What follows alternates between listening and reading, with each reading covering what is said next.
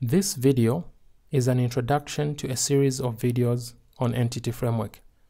In this video, I start by introducing Entity Framework. Entity Framework is an object relational mapping framework, also known as an ORM. What does that mean, you may ask? Object Relational Mapping.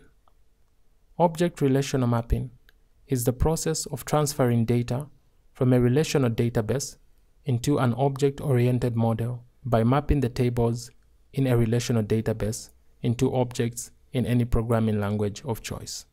This allows programmers to access data from a relational database right from within the programming language in an object-oriented manner.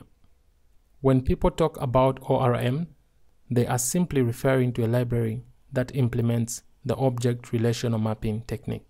An ORM library is simply an ordinary library that encapsulates the code needed to map and manipulate data from a database. ORMs eliminate the need to write SQL queries. They provide a communication channel between relational and non-relational systems. Entity Framework is an ORM library for .NET. It can be configured to work with a variety of databases, including Microsoft SQL, SQLite, MySQL, Azure CosmoDB, etc. Before Entity Framework, the traditional way of accessing data from a database was using ADO.NET, which is a data access library that provides communication between relational and non-relational systems through a set of common classes. The downside of using ADO.NET is that a developer has to implement most of the data access logic. This includes creating and managing connections, managing SQL queries, mapping database object types into corresponding C-sharp object types. This tends to be cumbersome and time-consuming. With the introduction of Entity Framework, all these processes have been automated. This eliminates the need to write custom code. Entity Framework takes the responsibility of mapping the database entities and their relationships into C-sharp objects. Aside from that, Entity Framework also provides methods to read, create, update, and delete data from a database right from within C-sharp. This allows us to manipulate data in an object-oriented manner. Entity Framework, through the DB context class, and the dbset class exposes methods that we can use to query data as well as perform filtering, sorting, and other data-related operations. The following code example demonstrates how data is queried using Entity Framework.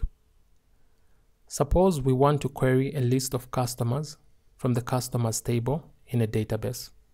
We can achieve that by using an instance of the DB context class. The DB context class here represents a session with a database. All access to the database is done through the DB context class.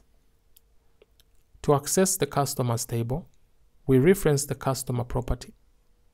This customer property is defined on the DB context class and is mapped to the customer table in the database. To filter or sort data, we can call the filtering and sorting methods defined on the customer property. This can be done in a sequence through a process called method chaining, where every method in the sequence performs an action on the result of the previous method. Finally, we can call the toList method. This will return the result as an enumerable list. When Entity Framework processes this query, it converts this code into an optimized SQL query which is then run against the database.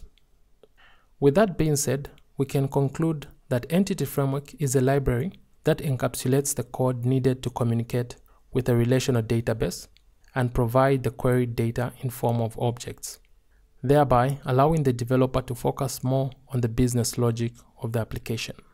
Now remember to check out part 2 of this video series where I talk about how to set up and configure Entity Framework for your .NET project.